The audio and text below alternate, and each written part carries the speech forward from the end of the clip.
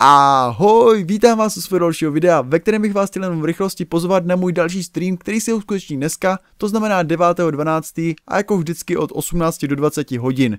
Jak už můžete z nadpisku videa nebo přímo z obrázku videu vidět, zahrajeme si hru Plants vs. Zombies Garden Warfare, což je hra, která byla teďka o víkendu zdarma a já doufám, že si ji stáhlo co nejvíce lidí z vás, protože samozřejmě proč neuží, nevyužít takové pěkné akce od EA k výročí PlayStationu, 20.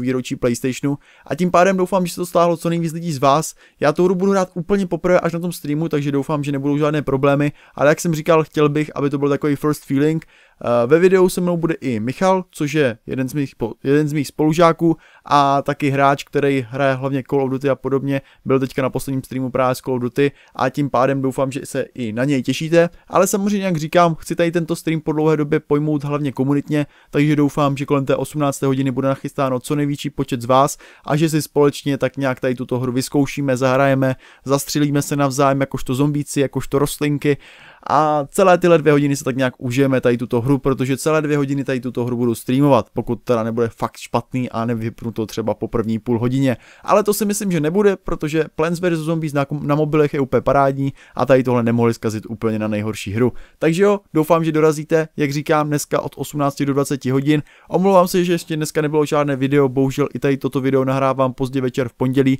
protože jsem to tak nějak nestíhal, ale v úterý odpoledne ještě před streamem bych už konečně měl natočit nějaké další asasíny, nějaké další možná NHL, ale to ještě nechci říkat, protože potom už budete mě psát, že ho potřebujete. Ale určitě něco málo natočím, takže nebojte, zítra už by nějaké nové, no, normální let's play video určitě mělo být. Takže jo, mějte se krásně a já se na vás budu za nějakou tu hodinku těšit na mém dnešním streamu, na mém Twitch kanálu, který naleznete v popisku videa. Takže jo, mějte se krásně. Ciao.